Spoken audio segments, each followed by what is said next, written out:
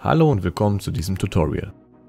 Heute werdet ihr die einfachste Methode, um Zeitunterschiede in einer Excel-Tabelle zu berechnen, kennenlernen. Bevor wir starten, nehmt euch einen kleinen Moment, um unser Video zu liken und unseren Channel zu abonnieren.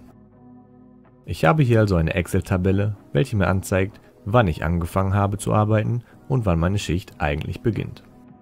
In der ersten Spalte sehen wir das Datum, in der zweiten den Schichtbeginn, in der dritten meine Anfangszeit und in der vierten schließlich die Differenz, welche wir noch herausfinden müssen. Es ist sehr wichtig, die Zeiten so zu schreiben, dass Excel sie versteht. Das heißt, Stunden, Minuten und Sekunden werden mit Doppelpunkten getrennt. Ihr könnt sehen, dass alle Zahlen rechts angelegt sind. Das zeigt uns, dass Excel diese Nummer im richtigen Format erkennt. Als Beispiel, wenn ich hier schreibe und hier, dann seht ihr, dass 123 als Nummer erkannt wurde, während 123 Kilo links bleibt. Um das noch weiter zu veranschaulichen, wenden wir ein bisschen Mathematik an. Wenn wir hier im Feld plus 10 eingeben, funktioniert das einwandfrei. Versuchen wir das aber hier, bekommen wir nur eine Fehlermeldung. Das Format ist also ausschlaggebend. Wenden wir das also auf unser Beispiel an. Differenz gleich Anfangszeit minus Schichtbeginn und wir erhalten 2 Minuten. Das klappt wunderbar, solange es auch wirklich eine Verzögerung gibt. Komme ich allerdings vor dem geplanten Schichtbeginn an, erhalten wir erneut eine Fehlermeldung, denn Excel zeigt uns keine negativen Zahlen an. Um das zu umgehen, markieren wir alle Felder, klicken auf Zellen formatieren und speichern diese nicht als Zeit, sondern als Nummern.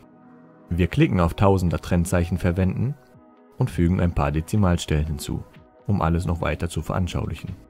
Unsere Zeit wird uns hier als Tag angezeigt. 2 Minuten sind also 0,0014 Tage. Um das in Minuten zu konvertieren, klammern wir Schichtbeginn minus Ankunftszeit ein, damit es in unserer Rechnung Vorrang hat und multiplizieren es mit 24 für die Tage und anschließend mit 60 für die Minuten. Und so erhalten wir 2 Minuten. Jetzt kann man das hier runterziehen, um dieselbe Rechnung auf die anderen Zellen anzuwenden. Und ihr seht, wir haben überall die richtige Differenz erhalten. Hier oben können wir noch die Dezimalstellen entfernen, welche wir nicht benötigen. Jetzt können wir noch die Maximalwertrechnung machen. Wir geben hier einfach ein und ziehen alle Felder nach unten. Dasselbe machen wir für den Mindestwert. Und zu guter Letzt berechnen wir noch den Durchschnitt. Und das war es auch schon.